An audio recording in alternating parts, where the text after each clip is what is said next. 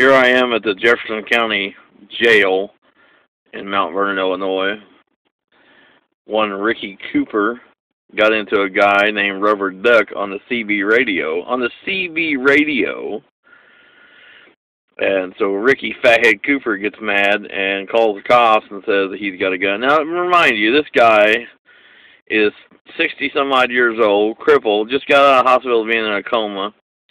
And this guy, Ricky Cooper, called the cops on him, has him arrested. So we're up here now bailing him out. Cannot believe this Ricky Cooper. He's a cocksucker.